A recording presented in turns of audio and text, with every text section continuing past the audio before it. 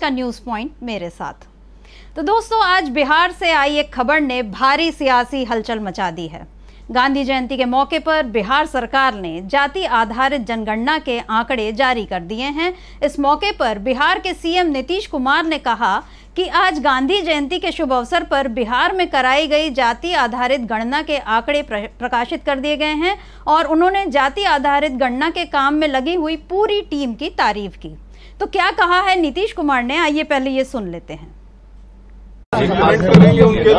सब कुछ का जो कराया गया तो ये पूरा का पूरा करके जो भी रिज़ल्ट आया है आप उसके बाद सबकी आर्थिक स्थिति एक एक परिवार का भी ले लिया गया। तो करके भी सब कुछ उसको भी कर रहा है सबको जानकारी भी दे देगा और कुल मिला करके कल प्रेजेंट करवा देंगे एक एक जगह।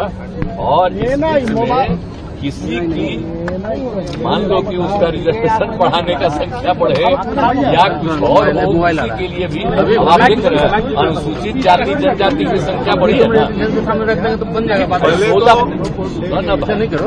दस वाला फिगर सोलह परसेंट और एक परसेंट से थोड़ा कम, एक परसेंट बढ़ करके बढ़ा है ना। फिगर उनको भी फ़ायदा है।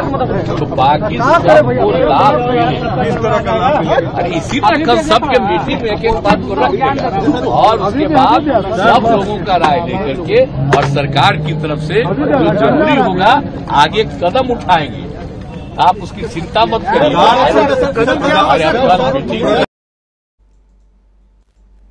तो नीतीश कुमार कह रहे हैं कि जो भी ज़रूरी होगा, पहले तो वो सारे दलों की बैठक बुलाएँगे और आंकड़े उनके सामने साझा करेंगे और फिर जो ज़रूरी होगा सरकार के लिए, वो ये काम करेंगे। और वो ये भी कह रहे हैं कि इस जन, जनगणना से पता चला है कि किस जाति की संख्या कितनी बढ़ी है और उसका क्या असर हो रहा है। तो नीतीश कुमार ने यह भी बताया कि जाति आधारित गणना को लेकर जल्दी ही बिहार विधानसभा के नौ दलों की बैठक बुलाई जाएगी और फिर इसका जो परिणाम आया है, उसको इन दलों के साथ साझा किया जाएगा।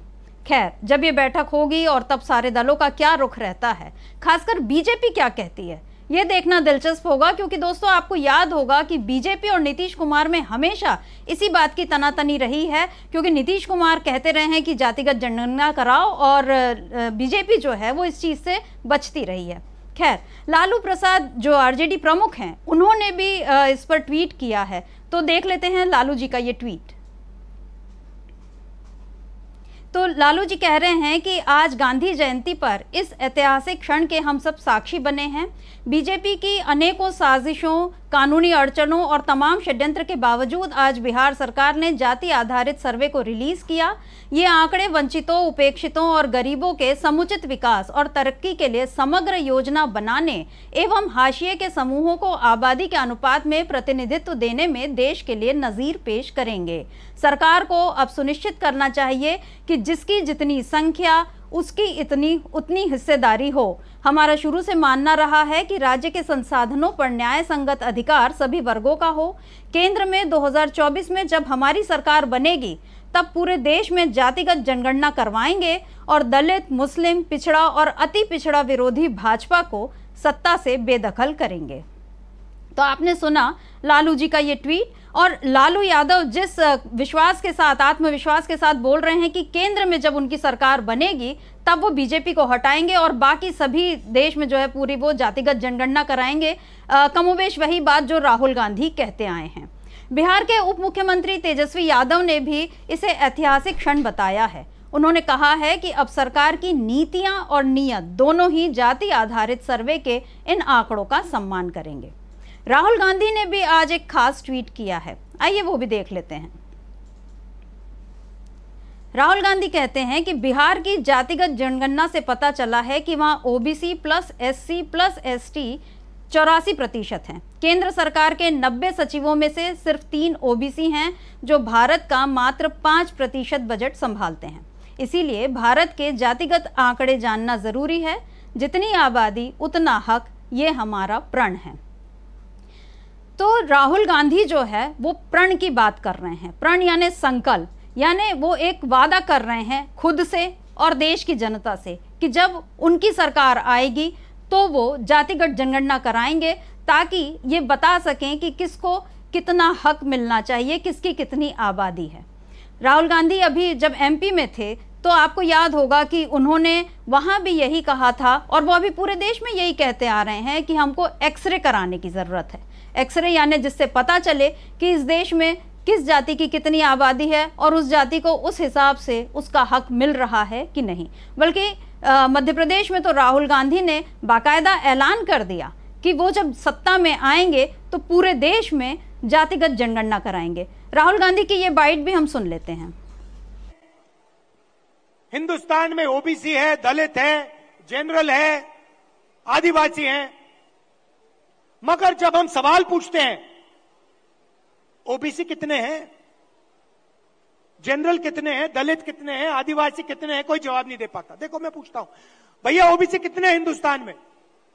कोई नहीं दे सकता।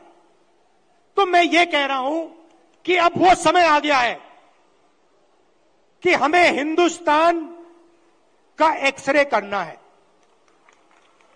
यह पता लगाना है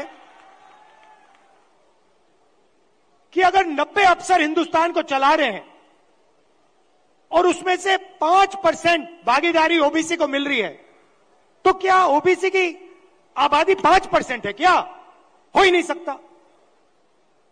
तो अगर उनकी आबादी पाँच परसेंट नहीं है, अगर उनकी आबादी पचास परसेंट है तो उनका पाँच परसेंट बजट पे कंट्रोल क्यों है? उनका पचास परसेंट बजट पे कंट्रोल क्यों नहीं है? राहुल गांधी के तीखे सवालों से दोस्तों, बीजेपी हमेशा परेशान रहती है और आज तो उन तीखे सवालों के जवाब भी कम से कम बिहार से तो मिल ही गए कि ओबीसी की आबादी कितनी है। वहाँ पर ईबीसी e यानी जो अति पिछड़ा वर्ग है, वो कितने हैं? हिंदू कितने हैं? मुस्लिम कितने हैं? ईसाई कितने हैं? कुर्मी कितने हैं? ये तमाम जो जातियों के आंकड़े आज बिहार सरकार ने जारी कर दिए। यानी एक बार फिर इंडिया के कारण देश की सियासत में हलचल मच गई है। मैं यहाँ इंडिया की बात इसलिए कह रही हूँ क्योंकि जब से इंडिया का गठन हुआ है, तब से ओबीसी आरक्षण के मुद्दे ने और तेज़ी पकड़ ली है। आपको याद होगा कि राहुल गांधी तो कर्नाटक चुनाव के समय से जिसकी जितनी आबादी, उसकी उतनी हिस्सेदारी की बात कहते रहे हैं। अभी महिला आरक्षण के वक्त भी उन्होंने इस मुद्दे को उठाया। और फिर, अभी आपने ये जो बाइट सुनी कि शाजापुर में जैसे उन्होंने ऐलान किया कि सरकार में आते ही जातिगत जनगणना कराएँगे। दरअसल राहुल ने ओबीसी पॉलिटिक्स से बीजेपी को घेरने की पूरी तैयारी कर ली है दोस्तों। आप जानते हैं कि अगले साल जनवरी महीने में ये चर्चा है कि अयोध्या में राम मंदिर का उद्घाटन मोदी जी कर देंगे। तो हिंदुत्व और राष्ट्रवाद से अब भी बीजेपी अपने लिए चुनावी खाद पानी जुटा रही है। यूपी और बिहार जैसे राज्यों में ओम प्रकाश राजभर, जीतन राम मांझी, अनुप्रिया पटेल, संजय निषाद की पार्टियों से, इन सब ऐसी पार्टियों से गठबंधन कर बीजेपी ने वोटों के लिहाज से मज़बूत सामाजिक समीकरण भी अब तक अपने पाले में कर रखा था। लेकिन अब इन सब की काट के लिए राहुल के नेतृत्व में कांग्रेस जो है, ओबीसी राजनीति के भरोसे अब जो है मोदी को और बीजेपी को पछाड़ने में लगी हुई है। मोदी खुद को तो पिछड़ी बिरादरी का बताते रहे और आपको याद होगा कि जब राहुल गांधी के पर जो मोदी सरनेम को लेकर मानहानि का दावा हुआ, तब भी ये लगा कि बहुत बीजेपी ने इस मुद्दे को उछाला कि राहुल जो है वो ओबीसी का अपमान कर रहे हैं। हालाँकि ये जो मुद्दा है, ये बीजेपी पर उल्टा पड़ गया। तो जब से बीजेपी सत्ता में आई है, जातिगत जनगणना से बचती रही है। जबकि 10 साल पहले, जब बीजेपी विपक्ष में थी तब उसके नेता खुद इसकी मांग करते थे। बीजेपी के नेता गोपीनाथ मुंडे ने संसद में 2011 की जनगणना से ठीक पहले 2010 में संसद में कहा था, यानी जब बीजेपी विपक्ष में थी, तब कहा था कि अगर इस बार भी जनगणना में हम ओबीसी की जनगणना नहीं करेंगे तो ओबीसी को सामाजिक न्याय देने के लिए और 10 साल लग जाएँगे, हम उन पर अन्याय करेंगे। तो गोपीनाथ मुंडे ने जो बात कही थी कि ओबीसी को न्याय देना है, वरना अन्याय हो जाएगा, हम 10 साल और पीछे उनको कर देंगे। दस साल तो बीत गए दोस्तों, और बीजेपी ने कभी ये ओबीसी या बाकी जातिगत जनगणना की बात ही नहीं की। और आपको एक बात बताऊँ कि पिछले सरकार में जब राजनाथ सिंह गृह मंत्री थे, यानी मोदी सरकार के पहले कार्यकाल में, उस समय 2021 की जनगणना की तैयारियों का जायजा लेते समय 2018 में एक प्रेस विज्ञप्ति में सरकार ने माना था कि ओबीसी पर डेटा नई जनगणना में एकत्रित किया जाएगा। लेकिन अब सरकार अपने पिछले वादे से संसद में ही मुकर गई है। तो वादों से मुकरने की अपनी परंपरा को बीजेपी ने या ये कहूँ कि मोदी ने कायम रखा है। लेकिन क्या बिहार में हुए इस डेवलपमेंट के बाद अब बीजेपी के लिए सियासी मैदान में जातिगत आरक्षण के मुद्दे पर या जातिगत जनगणना के मुद्दे पर टिकना संभव हो पाएगा? आज का एक ये बड़ा सवाल है। और दूसरा सवाल ये है कि क्या बिहार ने देश को फिर से एक नई सियासी